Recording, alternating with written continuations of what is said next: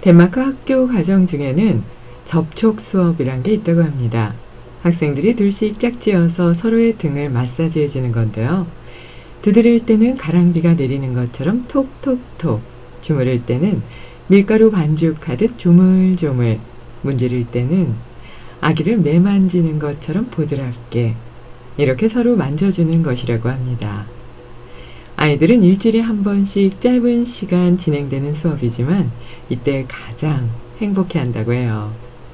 아이들도 서로의 온기를 통해 보다 직접적으로 서로의 의미를 느끼는 것이 소중하다는 걸 알기 때문이 아닐까 합니다.